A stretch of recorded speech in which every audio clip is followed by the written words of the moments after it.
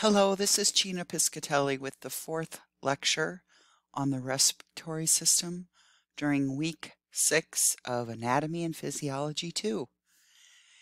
In this lecture, um, I'll discuss two topics related to the respiratory system. The first is uh, how pulmonary function is assessed. Um, that includes conducting air to the lungs um, a little bit about how um, gas exchange is performed or measured, and then we'll look at respiratory disorders. So how do we assess pulmonary function or the function of the respiratory system? There's various tools that clinicians can use and um, the primary one is, is called spirometry. And in spirometry, what happens is a patient breathes into a tube that you can see right here that's hooked up to a computer. Now, this is a really specialized device that can measure airflow rates and quantities.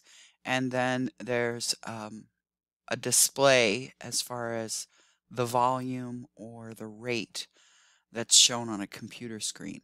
It's really quite sophisticated. Um, but even more sophisticated than that is that um, we can assess how much air is residual in the respiratory system, meaning not involved with gas exchange, um, using this tool, which is called pulmonary plethysmography. And what it um, requires is that the patient be sitting in a chamber where you can control the atmospheric pressure. And you know exactly what the pressure is on the outside of the body and you can measure the whether or not air is going in or out and therefore um, what the pressure is on the inside of the lungs with this um, meter right here. If you if you don't control atmospheric pressure, there's no way for you to determine the dead space or the air that remains always in the in the respiratory system. Um, and we aren't going to get into the um, physics of how it works, and you really don't even have to remember that word. But I do want you to know spirometry because we're going to analyze some spirometry results together, both in lecture and lab. And there's also another tool that's available. It's, it's called measuring diffusion capacity. And what that means is, well, essentially what you're trying to do is measure how much oxygen the blood is able to take from the lung or how much carbon dioxide can be exhaled, either one. But mainly we look at O2 intake.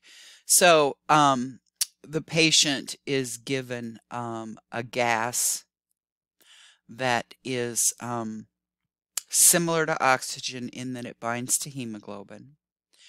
So the patient inhales this gas and then exhales over a couple of cycles. And then they measure how much of this marked gas that was that they started with, sorry, up here, the inhaled air, how much comes back out. And so you'll have a good idea of what remains in the bloodstream and got and crossed over from the lungs. Uh, we won't be able to talk about that very much until we talk about gas exchange, but I just wanted you to know that there's a way to measure how well we can take up oxygen in addition to measuring how much air we move. So a little bit of both. We're going to focus just on spirometry. This is what's typically done initially when any kind of respiratory disorder is um, suspected. There are four specific volumes um, that are measured. They're called four respiratory volumes. And even just one of those can help assess how well a person's breathing. In addition, those volumes can be added together to get more information. And when you have two numbers added together, now we don't call it a volume anymore, we call it a capacity. So um, it'll make more sense when we get into specifics, but these four respiratory capacities are combinations of more than one volume, and that will give even further information on how well someone's respiratory system is ventilating, at least, how much air is going in and out. And when we talk about these four respiratory volumes and then the four calculated capacities, we will use some uh, common or typical values. And the values that we're going to use refer to a 20 year old 155 pound male. And that's because that's what's in your textbook and what's available. Um, typically, adult females have a little bit um, lower uh, volumes and capacities than males, but that's what we've got, so that's what we're going to use. So without further ado, let's talk about how we measure, or not how, but what we measure when we're doing spirometry. First, we can measure um, how much air moves in and out of the respiratory system with each breath.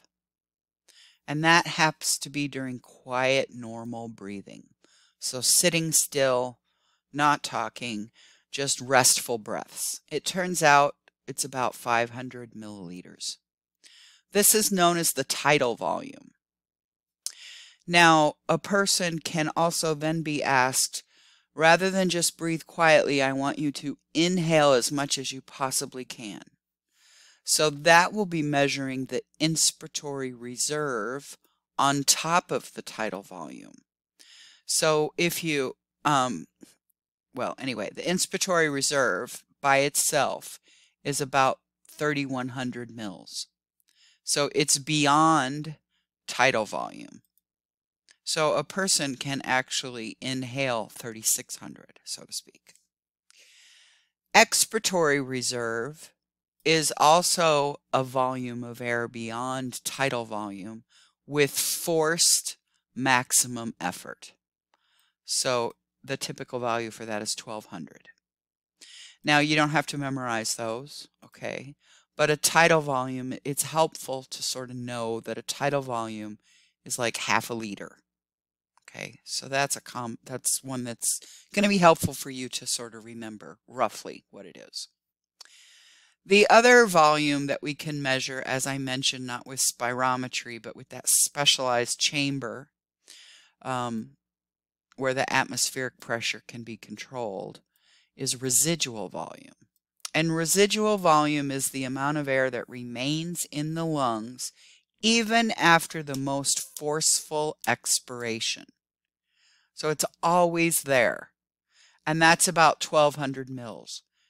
It doesn't mean that that air doesn't change. That those specific molecules will change. Um, they'll be replaced, but there will that respiratory system will always hold this much air beyond what we breathe in and out. In addition, there's something called anatomical dead space, and this is about 150 milliliters. This air is never available for gas exchange. Okay. And that means that it's air that never reaches the lungs. It's the air that you inhale that stays in the airways. It doesn't get down to the alveoli. So if our tidal volume of a normal inspiration and expiration only is 500. Only 350 mils um, are available for gas exchange. Now this dead space might increase or decrease, but mainly increase uh, with disease. Okay, and so that reduces the volume of air available for gas exchange.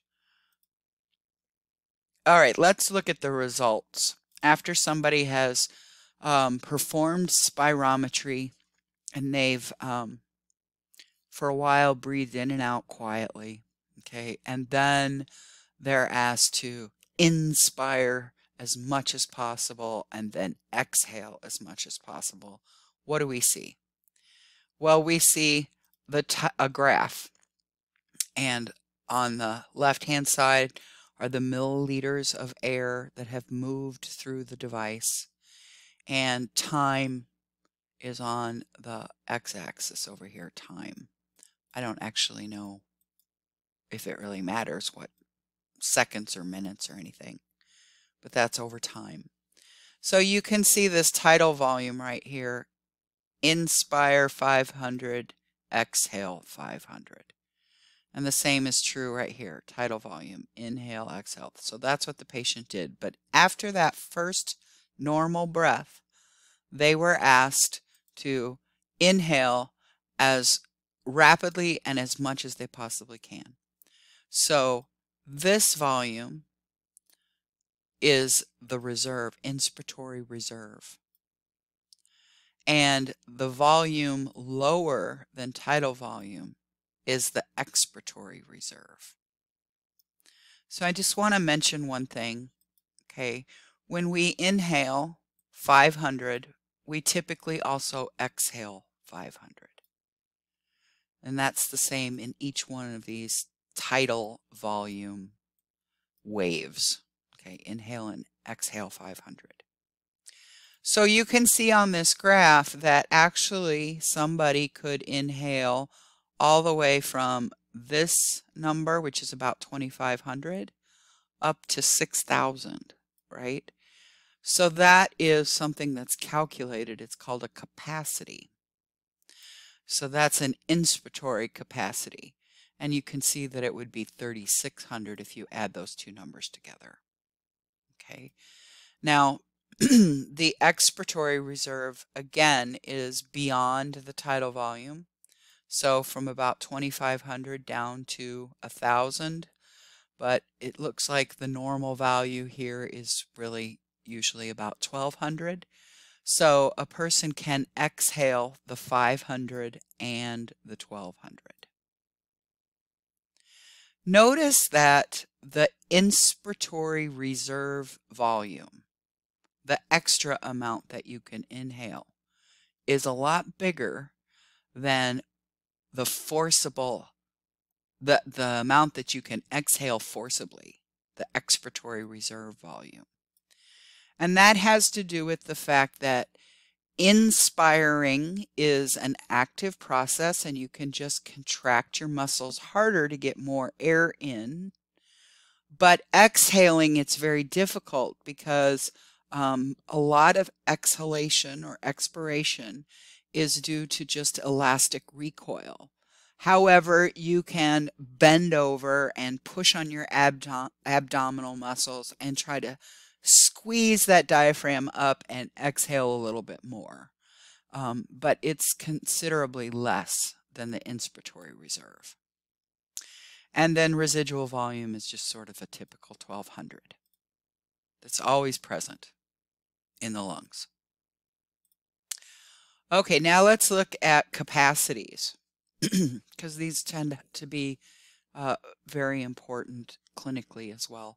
These are these are calculated. They're not measured with a device. They're actually, well, the computer does it, but um, they're different volumes added together. So total lung capacity would be the maximum amount of air that can be contained in the lungs, not including dead space. Okay, so total lung capacity would be residual volume plus expiratory reserve plus tidal volume plus inspiratory reserve. And we're going to go over that again. So it takes into account all that forced inspiration and exhalation.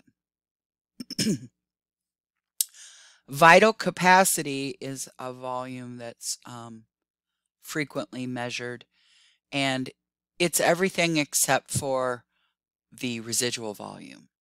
So the amount of hair of air that is inhaled and exhaled in one breath with maximum effort. That's what vital capacity is. Sometimes it's called functional vital capacity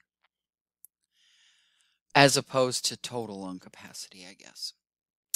All right, now the inspiratory um, capacity includes um, tidal volume and the inspiratory reserve. And the functional residual capacity is, of course, the amount of air that remains in the lungs after normal tidal volume. and I apologize, I notice I have a typo here. This says ration of FEV1 over or divided by FEV, FVC. It shouldn't say ration, it should say ratio. So you're basically counting how much of the functional vital capacity can a person exhale forcibly in one second. So FEV is forced expiratory volume measured over one second. So how fast can you exhale? and they compare that to the functional vital capacity. And it tells them a lot about different lung diseases. We'll get there. We're still just learning these different definitions. So let's look at this graph considering both the volumes that can be measured and the capacities that can be calculated. So we have our normal tidal volume right here, TV of 500. And if you add that to the inspiratory reserve that we've already talked about, that is the inspiratory capacity. The capacity that someone has to inspire, that volume. Okay, so it's about 3,600. And the um, total lung capacity, I'm going to do that one next.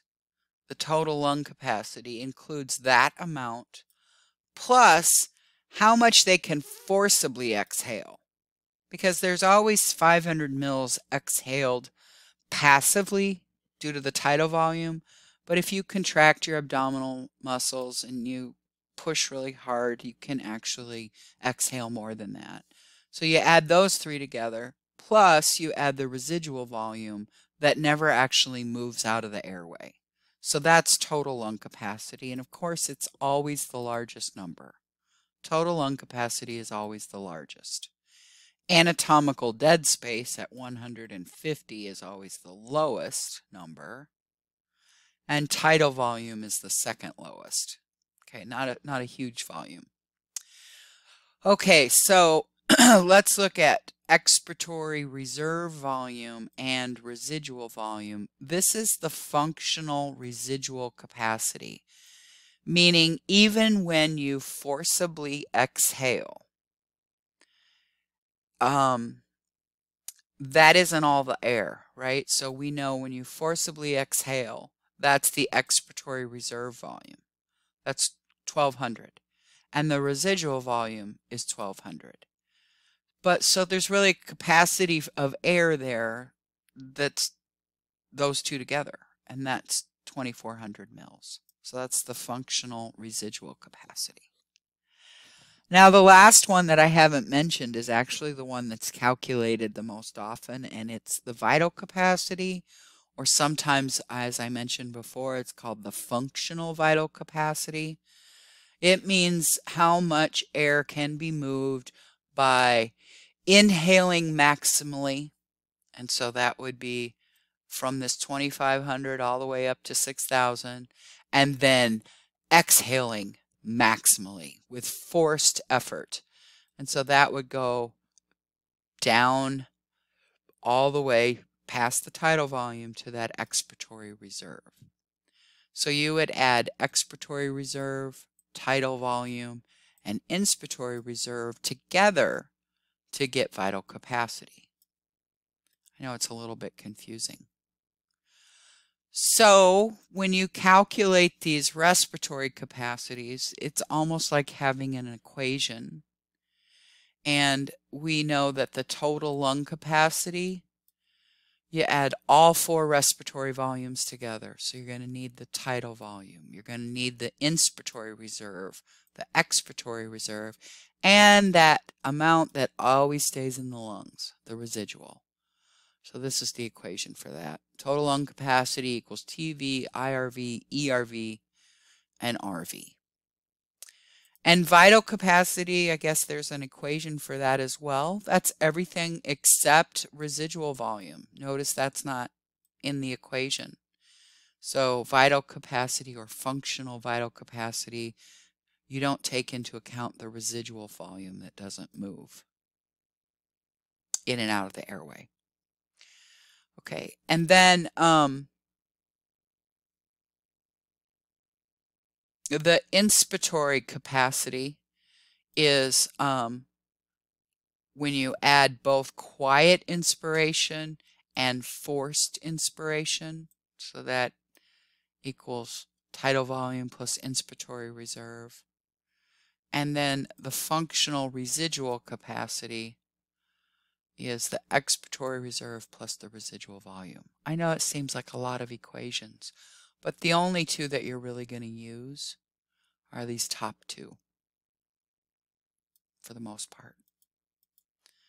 Okay, let's look at a few things about spirometry. Sometimes people refer to spirometry as pulmonary function tests, PFTs. Spirometry, the picture I showed of you with the young man breathing in the um, apparatus, the spirometer, is the most common lung function test. Okay, it measures the volumes and the rate of flow, which we aren't going to talk about too much except for that FEV1.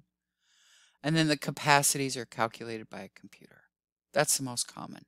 Okay, and if you want to know residual volume, for the purpose of being able to calculate someone's total lung capacity, because you can't know the total lung capacity unless you know this residual volume, the air that's always sitting in there. Um, you have to have a sealed chamber and whatnot. So that uses plethysmography. Becoming full is what that means. Okay, now I'm going to introduce um, the concept of that ratio I mentioned before, and that's FEV1 over forced vital capacity or functional vital capacity. So a very common measurement to determine what kind of lung disease a person has is to measure um, what their vital capacity is and then see how much of that they can exhale in one second. Okay. And normal should be quite high. You should be able to exhale about 75 to 85% of the air in your respiratory system after you have forcefully, as much as you possibly can, inhaled. So you inhale as much as you possibly can, and then you exhale and you do it quickly. You try to do it as fast as possible.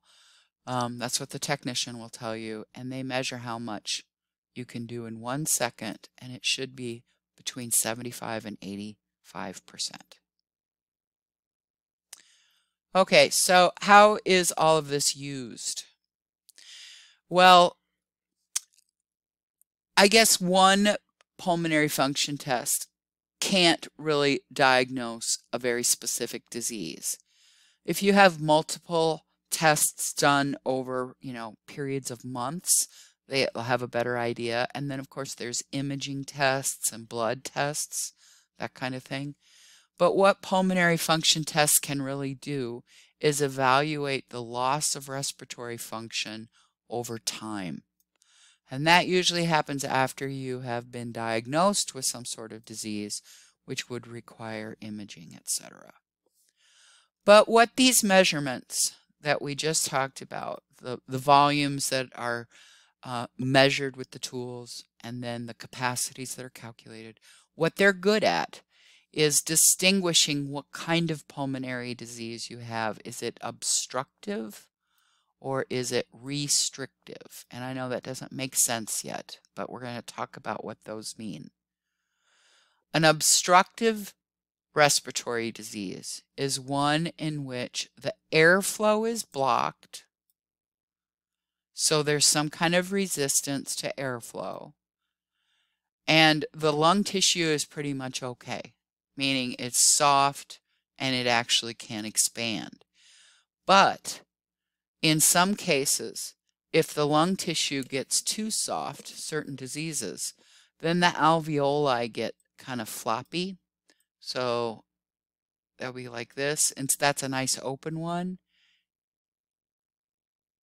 They could get smaller and close off. Still be nice and soft and still expand, but they can, you can't exhale very well. It's kind of hard to, to describe, and I'm going to show you some pictures in a little bit. But in obstructive disorders, airflow is blocked. And it's true that sometimes inhalation is a problem, like with asthma, for example. But most often, exhalation is impaired more. So that's an obstructive disease. A restrictive respiratory disease means that you cannot expand the lungs. So lung compliance is restricted, meaning the lungs aren't elastic anymore. They don't expand as well. They're not compliant to inspiration. And in addition, fitting into this category is the amount of respiratory membrane of the alveoli is reduced. So there's less gas exchange. Okay, that might be true in obstructive diseases, but it's always true in restrictive diseases.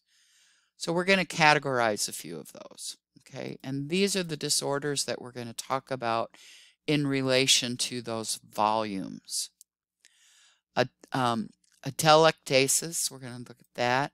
Um, pneumothorax, the infantory or infant respiratory distress syndrome, and then the obstructive respiratory disorders that I'll mention to you and talk about are bronchitis, asthma, emphysema, which can really fit into both, truthfully. It could go either way, and I'll explain why.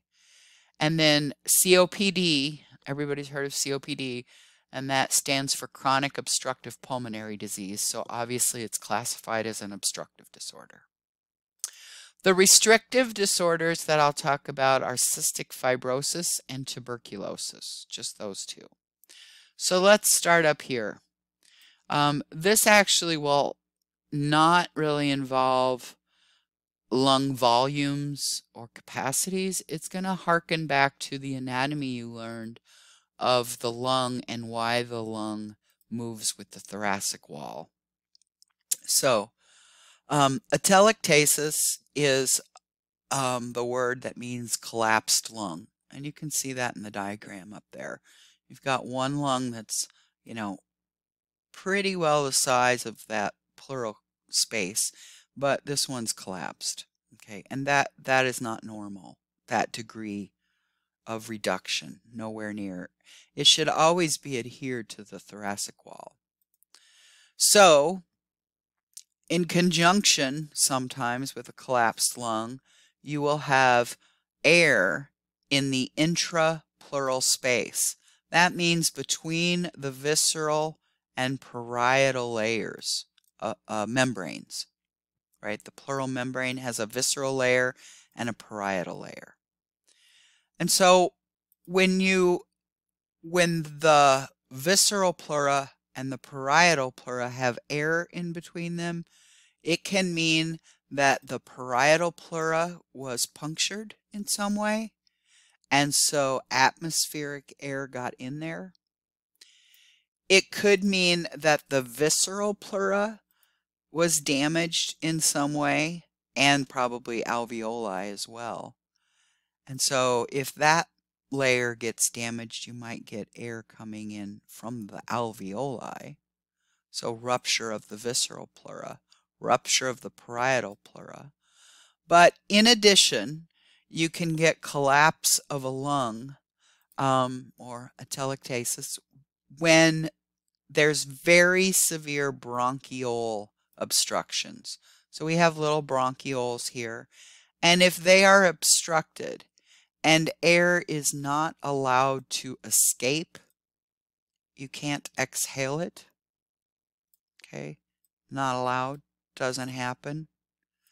Then what happens is the air in the alveoli get trapped and that air moves, it gets absorbed into the intrapleural space. But mainly I like focusing on the fact that the, the pleural membranes are super important. Um, and if you rupture either one of those, your lung is not going to be able to expand um, and uh, reduce like no, with normal breathing. It just, it won't be able to happen. Okay, so um, the next thing I'm going to talk about is how airway can airway resistance and obstructive disorders go together. But I, I first want to talk about um, this idea of a collapsed alveolus. So factors that can increase alveolar surface tension, which if you remember the surface tension is due to the fact that there's surfactant in here, a detergent that makes sure that the walls of the alveoli do not adhere to one another even during exhalation.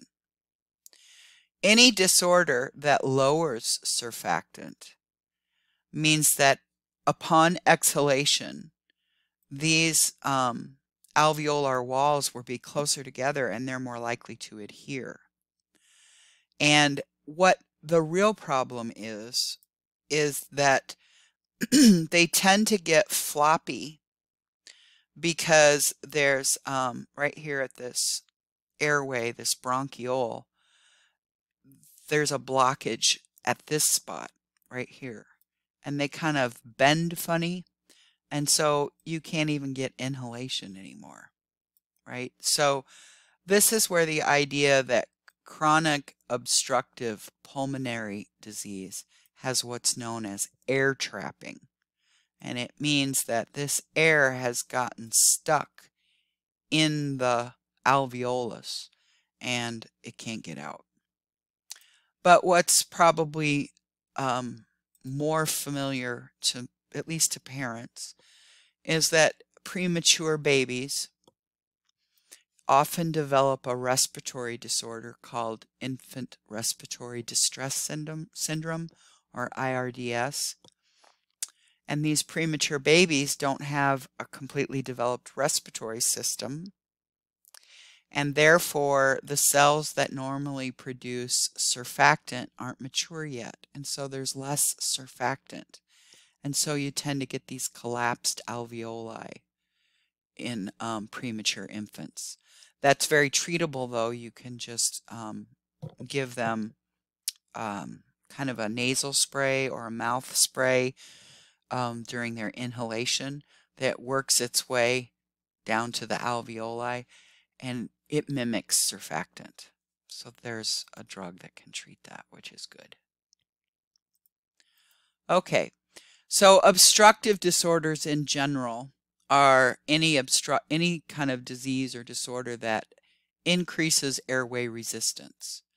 And that would be true in the case of COPD when you have that kind of collapsed alveolus that bends funny and the air gets trapped. But probably a more common um, cause of you know airway resistance is the accumulation of mucus, um, or um, it could be bronchoconstriction, where the bronchi or the bronchioles, due to the presence of smooth muscle, narrow or constrict. So any respiratory disorder that causes mucus accumulation will be an obstructive disorder. An example would be bronchitis, inflammation of the bronchi or the bronchioles really. Maybe a tumor grows and causes an obstruction or causes mucus accumulation and then chronic obstructive pulmonary disease as well. It turns out that chronic um, obstructive pulmonary disease is linked with smoking and um, when uh, I found a link between smoking and a reduction in surfactant as well as an increase in mucus production. So all sorts of problems with smoking. Okay, the other category would be bronchoconstriction, right? So that would be an obstructive respiratory disorder.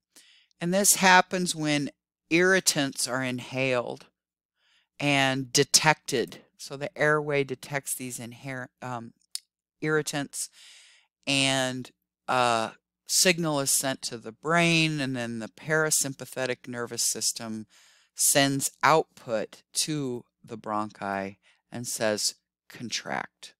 Okay. So the irritants stimulate the parasympathetic nervous system and cause bronchoconstriction. There's also an example of asthma, which really is a hypersensitive airway in this case, not only do you get bronchoconstriction due to some sort of an irritant or an allergen, but this allergen causes histamine release by certain blood cells. And that histamine travels all over your body. And um, histamine we usually think of as vasodilator, but it, it is a severe bronchoconstrictor. So this is a situation where you have um, histamine release in the lungs. There are mast cells that have gone to the lungs and release the histamine. And so you get severe bronchoconstriction. Let's look at pictures. It's easier to understand with pictures. Here's some examples of obstructive respiratory disorders. So here's mucus accumulation down here on the bottom, right? This happens with bronchitis and asthma and that has increased resistance, so airflow in either direction is hampered, and your respiratory volumes will go down. You won't be able to inhale or exhale quite as much without force or without effort anyway. you might get wheezing, right? And um, then the air is still flowing, of course, but maybe not quite as fast.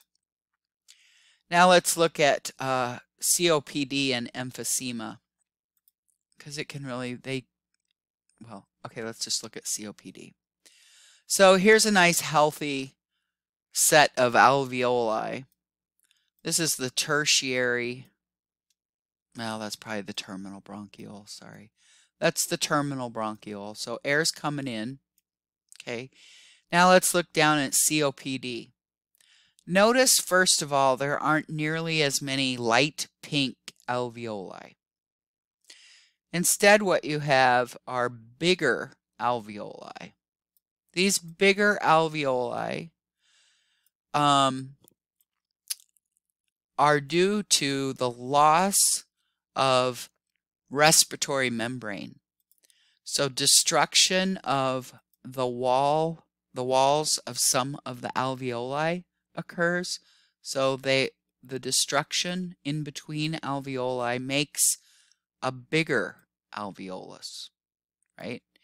And these bigger alveoli are what make it difficult to exhale um, because they get floppy. And when we try to exhale, when our, when our lung reduces its volume, they kind of collapse. The whole group of these alveoli will collapse and you can't get the air out. There's air trapping. So the air trapping is what makes emphysema an obstructive disorder. And COPD is a wide range of all sorts of things, but it includes some of this air trapping.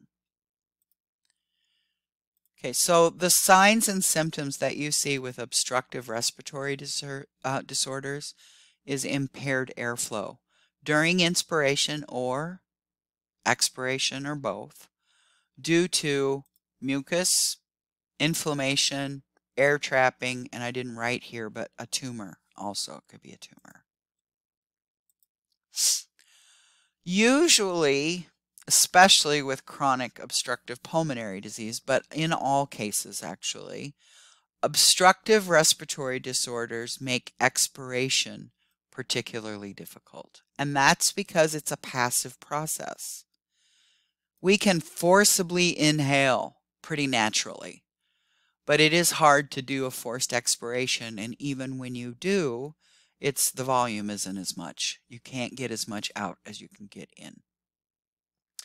So what we see um, is an increase in certain volumes. Total lung capacity goes up. And the reason is because in to try to compensate for this problem, your inspiratory capacity went up. Okay, your inspiration goes up because you can forcibly do that. So total lung capacity goes up. And if total lung capacity goes up due to inspiratory capacity, so does your um, uh, um, sorry, residual volume and your functional residual capacity.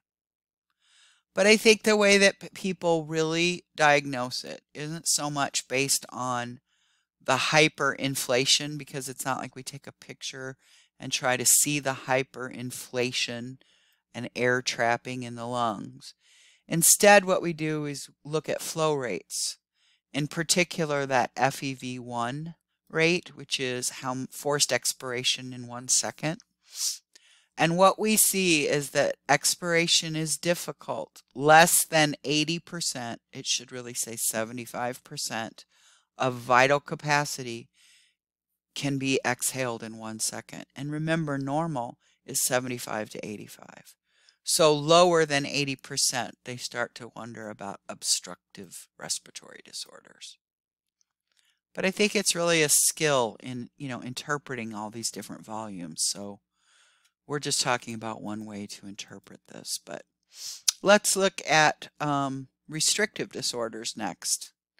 So factors that decrease any kind of lung compliance, meaning the ability to expand due to elasticity and recoil due to elasticity, cause restrict, restrictive disorders. So you're restricted, your inhalation is super restricted. You know, we can forcibly usually do that.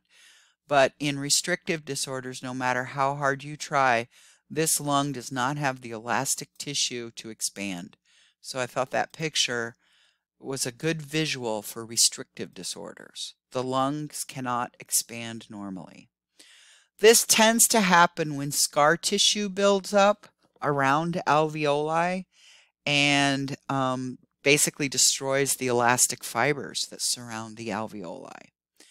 And the two diseases that um, I know of that um, form this kind of scar tissue is tuberculo are tuberculosis, which is a bacterial thing, and cystic fibrosis, which is a genetic problem. And I wanted to show you this picture down on the left. You've got two healthy uh, respiratory bronchioles right here leading to multiple alveoli that are still healthy. One there, and then there's one down here. And in between, notice that beige tissue. That's scar tissue. Even if there's healthy alveolus beneath it, alveoli beneath it, that scar tissue right there makes it difficult for the alveoli to expand because the elastic fibers surrounding the outside of the alveoli are damaged. Okay, so we're going to look at uh, the signs, symptoms, or causes, I guess, of restrictive respiratory disorders. So that connective tissue problem is called interstitial fibrosis, the scarring between the alveoli. And therefore, you have a reduction in elastic fibers and the lung tissue becomes stiff and non-compliant, can't expand. So in this case, the opposite of obstructive disorders is true, and that is that inspiration is more impaired than expiration. And so if you can't inspire as much, your total lung capacity goes down. your functional vital capacity goes down basically because your inspiratory capacity went down or inspiratory reserve volume went down. One of the IRVs, the I IRV, inspiratory reserve volume. And the other factor that's kind of interesting is that exhalation isn't so bad. Normal FEV1 tends to happen. Um, but that's kind of mm, a judgment call because if you think about it, the elastic fibers have um, less elasticity. So recoil, recoil would go down. So you would expect FEV to be not quite normal, but because expansion never happened, I think you don't really measure um, elastic recoil because there wasn't any elastic stretch or compliance. Anyway, we'll talk about this in lab quite a bit. So let me show you some pictures of those two disorders. So we already know what the interstitial fibrosis looks like. That's what this picture is on the left. The purple region is the scar tissue, okay? And normally, you know, those alveoli would kind of be touching each other, but, or groups of alveoli, but they would have elastic fibers in between them. So um, what we see in tuberculosis is that there's an infection um, with the bacterium, Mycobacterium tuberculosis, that infects and starts residing in the lung. And these bacteria create granulomas that surround themselves. And then on top of the granulomas, they're sort of encased in this protein layer. Then the lung and the body in general responds by making fibrous connective tissue. And that fibrous connective tissue destroys and replaces the elastic fibers. So that's what happens in tuberculosis. And let's look at what happens in cystic fibrosis.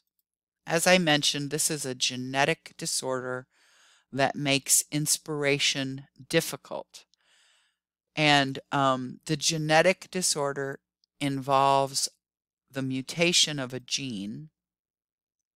So there's a gene mutation. And what the gene codes for is a chloride ion channel in the respiratory membrane, okay, in the epithelial cells. And if it's a chloride ion channel that's mutated, that means that chloride isn't going to move accord, move very well across the cell membrane. And so what that does is change um, salt concentrations on either side of cells. Sodium and chloride tend to go together, so think that way. And it also changes the water movement across membranes. So normally you remember that our respiratory airway, especially in the trachea, has a lot of mucus making cells and glands. And mucus requires water and you know the the mucus is going to go out into the airway, right? To trap some sort of irritant or inhalant. But presumably the mucus level is controlled by salt and water balances. And if those are impaired, then you get mucus that's super sticky and thick and you can't cough it out. like we normally clear our throats all the time, right? And there's that mucociliary escalator that I talked about. The thick, sticky mucus, you cannot just clear your throat and get it out. So the mucus tends to stay in there and it's a perfect harbor for uh, infectious agents, um, bacterial infections. If it, cystic fibrosis, of course, since fibrosis is part of the word uh, or the disease name, you'll also get some scarring of lung tissue. This is just in the airway I'm showing you here, but if we looked in the lung, um, you'd the mucus would eventually get down into the lungs. The, there'd be an inflammatory response and fibrous tissue would form. So cystic fibrosis is pretty serious. Okay, now I just have a summary of these pulmonary diseases or respiratory diseases. For um, classifying a disorder as obstructive or restrictive, I find these bits of information the most helpful. In obstructive disorders, remember that expiration is impaired more. So that means you can forcibly inhale usually past an obstruction. So that increases your total lung capacity. And some of that is residual. It's not going to help much, but total lung capacity. So if expiration is more impaired and you have a high lung capacity and you've me measured the FVC, we can do that. That's usually higher as well. What you'll see is that since the FEV is so low, even though the functional vital capacity is higher because you have higher lung capacity, the ratio is low. So when you see a ratio below 80% of FEV1 expiration to the functional vital capacity, you start thinking obstructive. Now restrictive disorders would be the opposite. Total lung capacity is decreased, remember, because inspiration is impaired, not expiration. So when we when a person with restrictive disorders exhale, the FEV1 is usually normal. So that's normal, FEV1, expiration in one second. But the FVC, which is linked to total lung capacity, is low.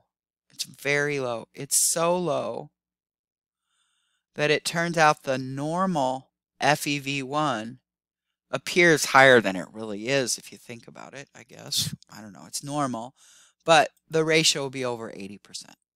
Okay? Ah, I see another error here. Ah, Okay, due to low FVC. Right there, FVC. Before I post this, I'll make sure the slide is accurate. So due to low FVC, functional vital capacity.